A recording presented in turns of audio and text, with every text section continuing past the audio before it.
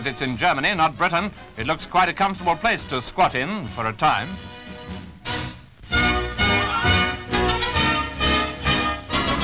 Squatters are very much in the news. Here they are at the Duchess of Bedford Mansions in Kensington, moving in.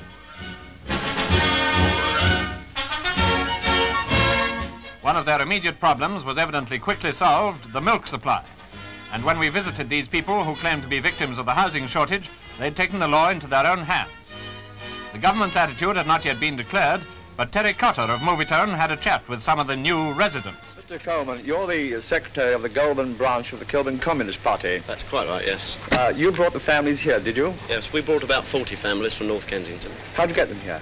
Uh, we got them here by various methods, by lorry, bus and by the Underground Railway. And you're arranging feeding them as well, are you? Yes, we arranged for emergency feeding today by travelling round to the various British restaurants. We managed to get them a meal for this afternoon and we're hoping to get another meal for tonight. So what accommodation did you have, Mrs. Barnes? I had one room with two families, and we're both married, and uh, Ben's husband's in the forces and my husband's at home now, and I was paying a pound a week for it. Four people in one room? Yes, sir, for a pound a week. That seems rather much, doesn't it? It do, sir.